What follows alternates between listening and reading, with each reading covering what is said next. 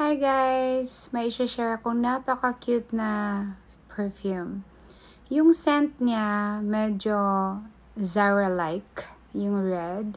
Pero, mas stronger lang ng dating. Pero alam nyo, hindi ko kasi matiis kasi ang cute-cute-cute talaga ng bottle niya. In one, two, Ayan, ba? It's red and heart shape. Sobrang cute niya talaga. Magkano ba to? I forgot how much, but where did I buy it? Alam na alam ko.